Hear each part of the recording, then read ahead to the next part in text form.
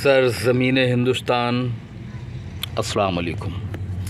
जैसा कि आप जानते हैं कि मैं हूँ डॉक्टर आरिफ कुरैशी और आप देख रहे हैं जी आरिफ जी यूट्यूब चैनल। तो चलिए दोस्तों, आज मैं आपको बेहतर औषधि से परिचय कराने वाला हूँ दोस्तों, और वो औषधि इतनी बेहतर औषधि है कि अगर किसी को भी डायबिटीज़ के कारण कहीं पर जख्म हो गया है तो भराई नहीं भरता है, पश पड़ गया है, जख्म सुखाए नहीं, सूखता है ममाद आ रहा है। तो इन स्थितियों में रोगी बहुत ज़्यादा परेशान हो जाता है और अपनी मेहनत की गाढ़ी कमाई, खर्च कर करके कर करके उसके बावजूद भी उसका जख्म, उसका ममाद आना बंद नहीं होता। दोस्तों तो मैं आपको बिल्कुल निःशुल्क बिल्कुल निःशुल्क काम आने वाला मैं आपको बेहतरीन औषधि बता रहा हूँ दोस्तों।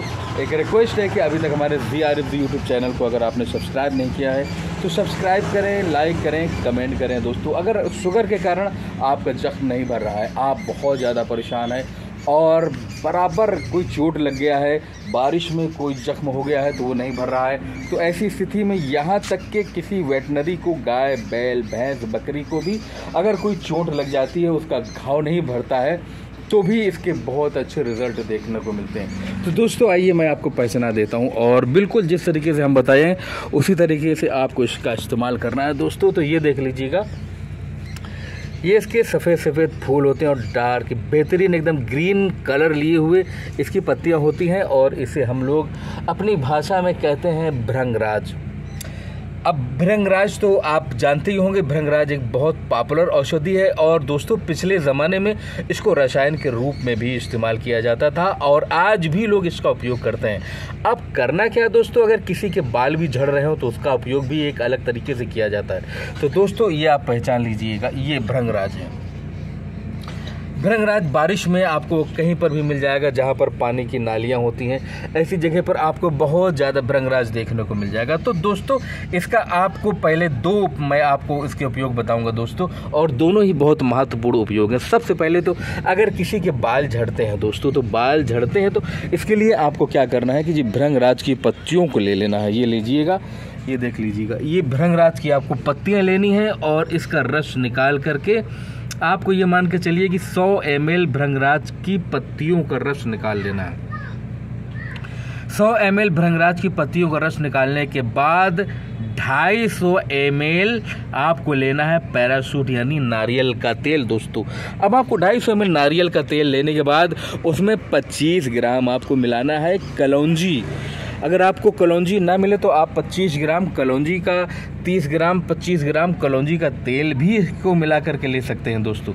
वैसे कलौजी मिल जाए तो ज़्यादा बेहतर, अगर कलौजी नहीं मिलती है, तभी आप इसके तेल का उपयोग करें। तो आपने ले लेनी है कलौजी या कलौजी का तेल, एक ही समान मात्रा में ले लीजिएगा।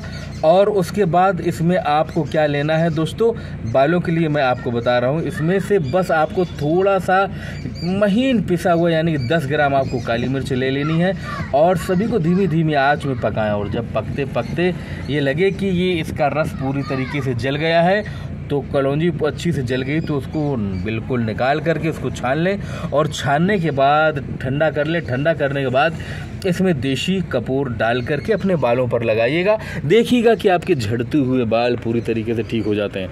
अब दूसरी ओर हम चलते हैं, जो मैंने आपको बताया है कि शुगर के कारण जो जख्म हो जाते हैं, जो घाव हो जाते हैं, जो घाव ऐसे होते हैं कि जो भरते नहीं हैं और बहुत सारी एलोपैथी दवा आप खा खा करके परेशान हो जाते हैं और बहुत सारे ऑइनमेंट तो दोस्तों, कोई बहुत बड़ा नुस्खा नहीं है जख्म को भरने के लिए। इसके लिए आपको केवल और केवल इसकी ताज़ी पत्तियों का स्वरस, इसकी ताज़ी पत्तियों का स्वरस ले करके उस जख्म पर लगाइएगा दोस्तों। और आप देखेंगे कि पहली ही खुराक में, पहली ही मरतबा आपने इसकी ताज़ी पत्तियों का रस लगाया है। शाम को लगाइएगा और आपको सुबह, दोस्तों, सुबह आपको इसका रिज़ल्ट मिलेगा।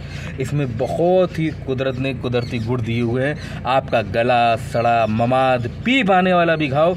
आपका एक से डेढ़ हफ़्ते में पूरी तरीके से ठीक हो सकता है। दोस्तों, अगर आपको जो इस हमारी वीडियो में कोई चीज़ समझ में ना आई हो तो मेरा नंबर है nine four five one four seven nine six four one पर आप कॉल करिएगा।